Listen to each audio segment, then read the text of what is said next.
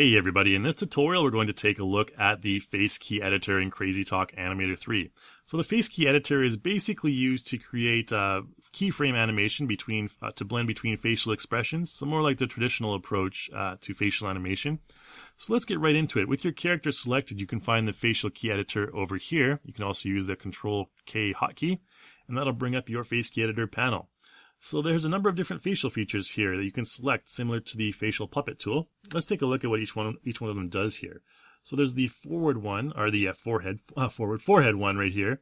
If we click and drag that, once it's selected, if we click and drag it, you can see we can modify the inner part of our eyebrow right there. So we can uh, manipulate that individually. And we can deselect that and uh, go back to default key, which will bring our characters, uh, all the facial features back to the default there. And if we have accidentally selected something, we can go here to clear selection as well. All right, this one here will uh, move each eyebrow, uh, all the both eyebrows together rather. Okay, so move, use that to uh, have a suggestible type of uh, eyebrow movement, and you can also move each individual eyebrow as well, uh, just like that. And beyond that, there's this one right here, which you can use to have your character's eyes closed shut like that. And we'll use the default key to reset back to normal there. Uh, let's clear the selection there. And under the eyebrows, we have these upper eyelid ones you can use to uh, have your character uh, blink as well. And this is uh, you can also use these ones to uh, have your character blink or wink like this. All right. And next up is the eyeballs. So if we select the eyeballs, we can move those individually, or we can move also move them together. Once you click and select them, you click and drag and move them together like this. And if you use these options here, the eye scale options, if you click and drag after you select those, it'll enlarge or decrease the size of your character's pupils. So you can get, whoa, some effect like that. Okay. Uh, let's go ahead and refresh these and just go back to default key here. And below the eyeballs are these lower eyelids you can use to click and drag and kind of make your character a little bit happier looking by moving those up just like that. And uh, then we also have the nose flanks, which can be used to kind of bring the nose up like that, uh, one by one or individually again, just like this. And beyond that, we also have the cheeks. Pretty self-explanatory. That'll have your character smile or frown. And you can do uh, each side individually as well. And then this one right here in the middle, you can have your character smile in various ways. You can move this one to the side as well if you use this uh, mouth section right here. Uh, and there's lips as well. So the lips, we can thin the lips or expand the lips just like this. You can see the result right there. And uh, let's just go back to default key here. And this one finally will open your character's jaw. So if we click that one and drag it down, we can have him drop his jaw in shock. Even though he doesn't really have much physical jaw movement, the uh, sprite will change so you can have your character drop his jaw like that. All right, so that's basically that's what each individual feature does there. We also have the head rotation as well. There's 3D rotation. Now, if you select this one, you have to click anywhere in the outer white section right here. Click and drag to move your head like this. And this one here is head rotate. So if you use head rotate, it'll just go from side to side, just like that. And you can combine these two as well. Right? And get the result like this. Some nice head rotation like that. Let's go back to default key again. let's move on to animating using these uh, using the face key editor. So to animate, I'm actually going to use the templates over here. So there's a number of different templates that you can use. Uh, I tend to use these quite often. You can see there's happy. Uh, under the expression style, you have a drop-down menu. There's a bunch of happy ones right here. And everything from happy to uh, fear, and you can use these as templates to basically animate between each between them. And I'll show you how to do that in just a moment. Uh, distrust and uh, others, and a whole bunch of ones that you can explore on your own time. But let's take a look at a couple of these first. Uh, so we're just going to use a happy one like this, happy 01, very uh, generic happy expression. And let's press F3 and go into the timeline. So once we've selected one of these templates, What'll happen is in the facial clip section, if we twirl this down a little bit, there'll be keyframes for head, face, and eye. And you can see those keyframes right there. Uh, we generated those using the happy expression. If we go down a little bit to, say, frame uh, 20 or something like that, and we put in another expression like happy 06, you can see it'll create another keyframe right there in the face track. And it'll also expand the clip under facial clip. And you can see now it'll blend nicely between those two facial expressions, just like this. We can also use, uh, you know, blend between other expressions as well. Let's go down, down to like 40, for example, and choose something like the uh, fear expression. All right. So we have a nice blend in these between these two keyframes from happiness to fear. All right. So here, he said it's Friday, and then he realizes, oh, he has to work on Saturday. Okay, so uh, really easy and quick, quick way to animate between these uh, different keyframes, just using these expressions. In addition to uh, blending the expressions, you can also add in individual parts as well. So let's go to, for example, right here where we have this middle keyframe. Let's go back to the facial tab and let's choose an individual facial part, or rather, uh, you deselect those first and take the eyebrow by itself and kind of bring the eyebrow down. So then from this point to this point, we'll have that one eyebrow move up and the other one go down, just like that. And then from here, they'll both go back to normal. Okay? So that's one way you can, you know, just add in uh, separate facial features there as well.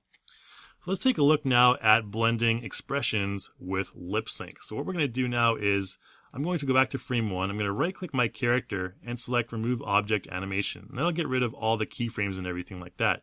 You can also select the facial clip and just delete it. We can maybe do that a little bit later.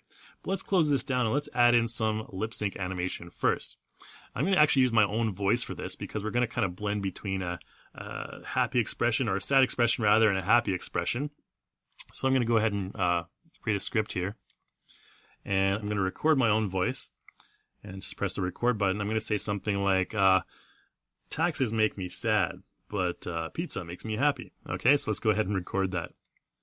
Taxes make me sad, but pizza makes me happy. Okay, so let's press stop and you can play that back if you want. Taxes make me sad. All right, let's just stop that and press OK. Taxes make me sad, but pizza makes me happy. Okay, so we created a nice uh, script right there. And that uh, clip will appear in our voice clip track right there.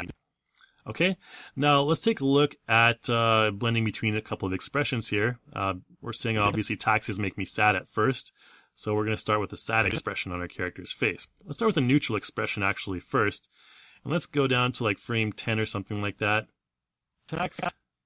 Or maybe we'll start off with a neutral expression here. We'll go to the face key editor and use a template. And right here under happy, we're going to create a neutral expression.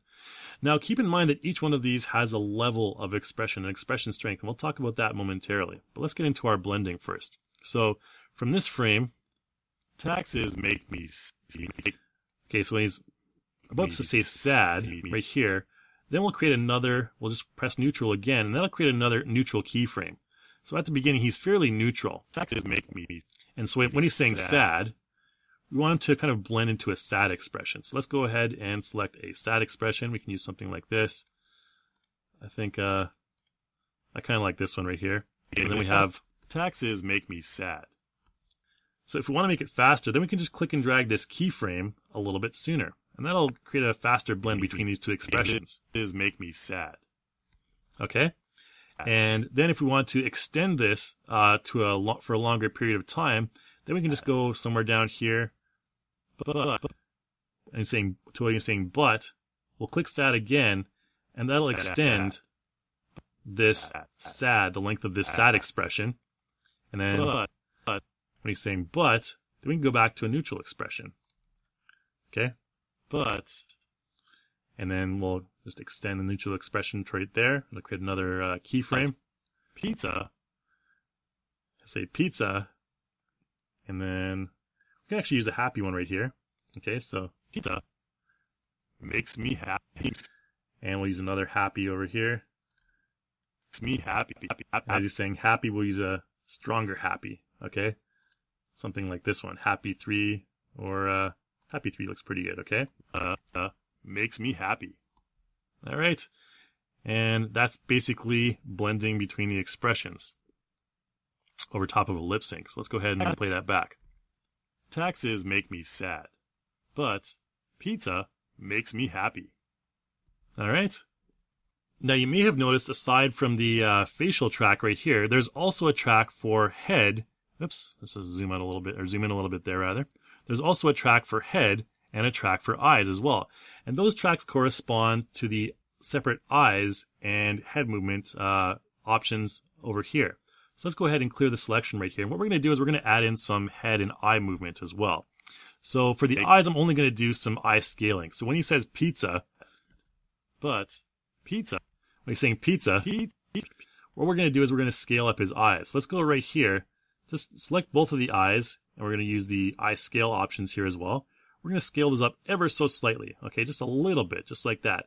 And it'll create a nice keyframe there, an eye keyframe in the eye track. And pizza. Okay, what we're going to do here is we're going to expand the eyes. We're going to make them a little bit larger as he's saying pizza, okay?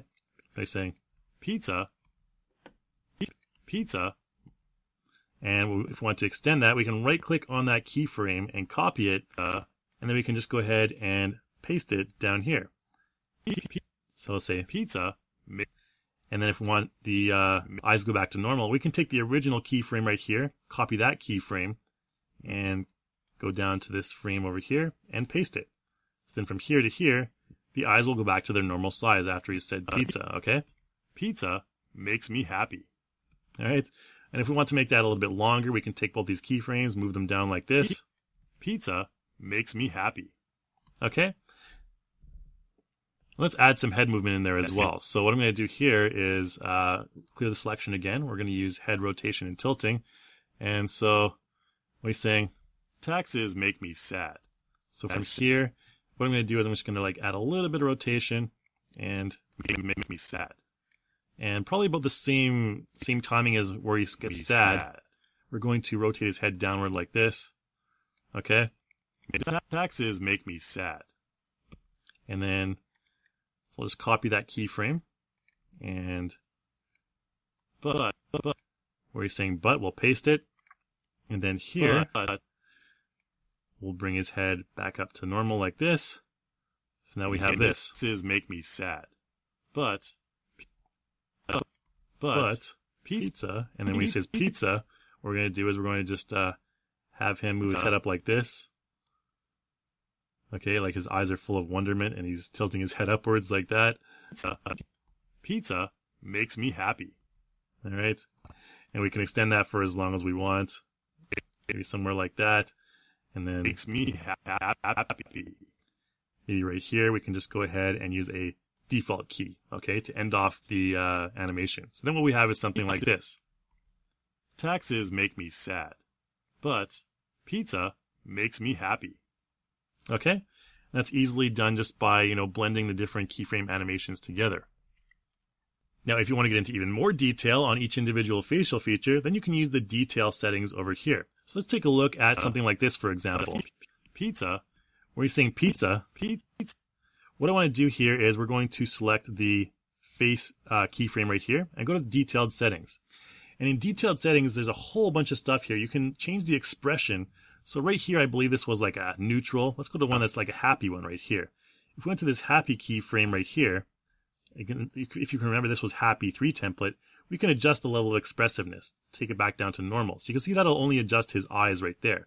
We can also adjust the level of weight on the uh, eyes individually, or the brows, which in this case isn't going to do much. But if we go to something like maybe which one has a lot of eyebrow movement, like this one right here, for example, okay, we can take that weight down on the eyebrows, and the eyebrows will go down down to normal on this one, okay, like the sad one. So you can do these individually. Um, the nose on this one will have a, a large effect as well. You can adjust the strength individually. Taking the expression down will give him back to a neutral expression. Okay, so that sad one is a good example for that. And aside from that, you can also do these uh, features individually. So as he was saying pizza, which was what I pizza. originally wanted to do here. Pizza. Uh, pizza. pizza. Okay. What I wanted to do is raise the eyebrows a little bit. Okay. Uh, so here we can go, go ahead and choose brow outer raise like this. And we can kind of uh, drop them a little bit. Drop the inner right. So he's kind of just saying pizza. So, plus pizza. Okay. Pizza. Keep in mind that from here to here, it's going to blend back to the original data. Okay, so even though these are both uh, Happy 3 uh, templates, This one here has the eyebrows down, and this one here doesn't. So if you want to extend that eyebrow down, you can just go ahead and right click that keyframe, select copy, and you can also uh, press tab to go between keyframes. So if I select here and I press tab, it'll toggle between all the keyframes on that track. I can also press shift tab to go backwards between all the keyframes. Okay, so here I'll press control V and it'll give us the uh, pizza. Pizza makes me happy. Okay, so we have that Uh-huh. uh, those eyebrows down like that, and you can do all sorts of other stuff with the eyes. Uh, you can have the eyes squint, the nose uh, flank raise, and everything like that. You should be familiar with all of these uh, different uh, facial features. This is where you can get into a lot more detail uh, with your character's facial animation. So if you have time, just go into here and you can uh, adjust all the subtleties of your facial animation and create some really detailed animation as a result. All right, so that's about it for this tutorial, guys. Uh, thanks so much for watching. Again, make sure you check out our other uh, facial animation tutorials on uh, facial puppeting and lip sync, and our YouTube channel, as well as our forums at forum.reallusion.com. And I'll see you in the next video.